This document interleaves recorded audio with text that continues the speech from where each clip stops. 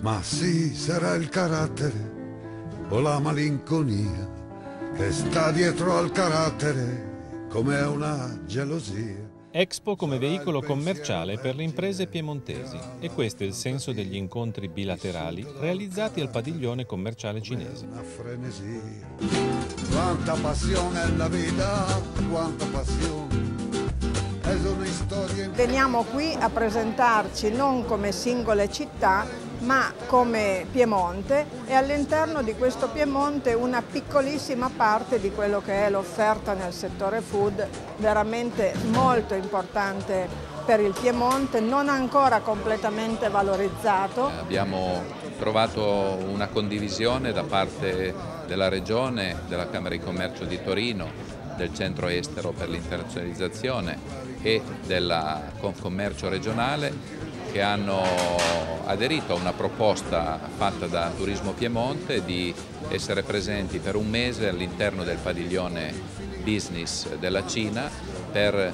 così eh, avere l'opportunità di incontrare delegazioni, aziende, eh, istituzioni e porre le basi per delle collaborazioni che naturalmente dovranno svilupparsi nei prossimi anni. Devo dire che Expo è proprio una grande occasione, eh, la rappresentanza internazionale e devo dire questa vicinanza con la Cina è legata anche a queste strutture che tra l'altro vengono utilizzate e condivise e che eh, davvero segnano delle, delle, opportunità, consentono dei rapporti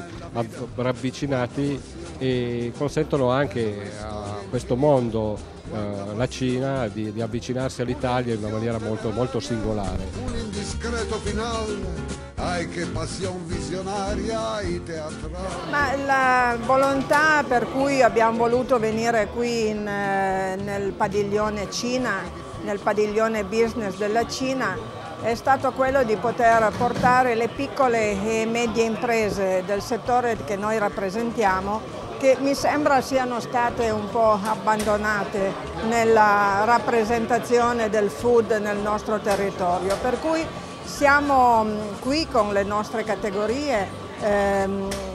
naturalmente le categorie del food, quindi eh, i ristoratori, i pasticceri, i gelatieri, i caffè bar, tutto quello che rappresenta la quotidianità del vivere italiano. Il mercato cinese è un mercato importantissimo,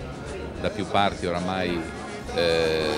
viene constatato un incremento di presenze turistiche cinesi in tutta Italia, ma anche nel nostro Piemonte negli ultimi due o tre anni